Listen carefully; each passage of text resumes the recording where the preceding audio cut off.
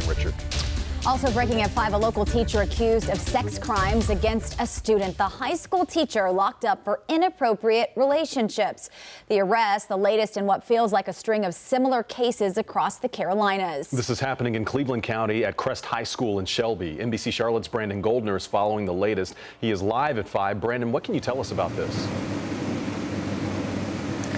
Well, Fred and Sarah deputies say they were investigating Costner uh, for more than a week. They released a statement last week saying that they were investigating the possibility of an inappropriate relationship. Investigators say Costner had a sexual relationship with a student while she was a teacher at Crest High School. Deputies say she no longer works there. We've been reaching out and are waiting to hear back from Cleveland County Schools for more specifics on what she taught at the school and how long she was employed with the county. The sheriff's office says she turned herself into the jail this morning where she received a 10,000 $1,000 bond for two felony counts of sex acts with a student. Her court date has not yet been posted. However, if she stays in jail through the night, she will have a first appearance the following morning. Reporting live, I'm Brandon Goldner, NBC Charlotte.